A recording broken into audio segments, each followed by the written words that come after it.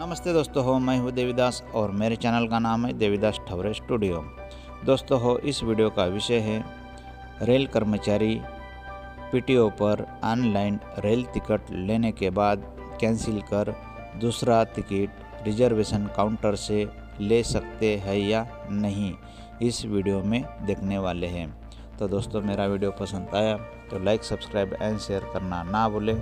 साथ में bell icon को प्रेस करें ताकि नई वीडियो की नोटिफिकेशन पहुँचे सबसे पहले। आप तक वीडियो को स्टार्ट करते हैं तो दोस्तों, मैं सबसे पहले आईआरसीटीसी की ऐप पर गया। वहाँ पर लॉगिन हुआ। लॉगिन होने के बाद में यहाँ पर मैंने टिकट बुक करी। तो दोस्तों, मैं बता देता हूँ टिकट बुक कहाँ पर की?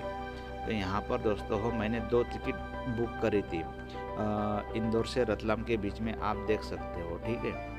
और बाद में मैंने उसको कैंसिल कर दिया, ये एक टिकट हो गया। अब मैं आपको दूसरा टिकट बता देता हूँ, ठीक है?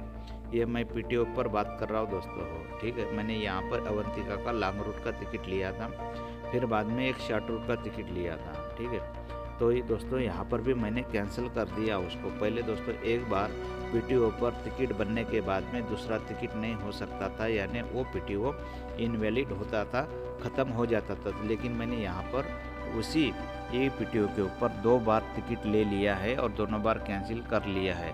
तो दोस्तों, इस वीडियो में हम लोग देखने वाले हैं कि ये ऑनलाइन पीटीओ से जो बना टिकट है, उसको कैंसिल करने के बाद उसको ऑफलाइन यानी काउंटर से रिजर्वेशन काउंटर से ले सकते हैं या नहीं ले सकते। तो दोस्तों, मैंने इसको कैंसिल कर दिया।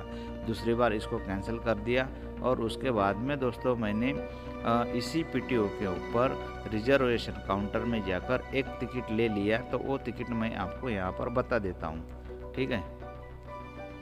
तो दोस्तों, यहाँ पर मैंने ये टिकट ले लिया। तो ये देखिए यहाँ पर मैंने एक टिकट ले लिया ई पी टी ओ यहाँ पर लिखा हुआ है और यहाँ पर मेरा यू पी एन नंबर आपको दिखाई दे रहा होगा सत्तानवे इक्यासी अड़तालीस छः और यहाँ पर लिखा हुआ ई पी टी ओ मतलब पहले दोस्तों हो जो आ, होता था कि आप ऑनलाइन पीटीओ से जो टिकट बनाते थे ऑनलाइन हो चाहे ऑफलाइन टिकट बना लो तो एक बार टिकट बनने के बाद में दूसरी बार टिकट नहीं होता था। लेकिन अभी रेलवे ने ये रूल बदल दिया है। अभी आप ऑनलाइन टिकट लेने के बाद उसको कैंसिल करके ऑफलाइन टिकट यानी रिजर्वेशन काउंटर से टिकट ले सकते हो। ये दोस्तों हमारे लिए बहुत बड़ी खुशखबरी है।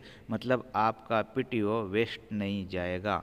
इस वीडियो के माध्यम से मुझे यही बताना था कि आपका टिकट जो है पीटीओ से बनने के बाद में, उसको कैंसिल करने के बाद में आप रिजर्वेशन काउंटर से टिकट ले सकते हो या नहीं ले सकते हो। तो दोस्तों, इस बारे में अगर आपके मन में कोई क्वेश्चन हो तो मुझे ज़रूर पूछ सकते हो। तो दोस्तों, मैं हूँ देवीदास, मेरे चैनल का नाम है देवीदास ठवरे स्टूडियो।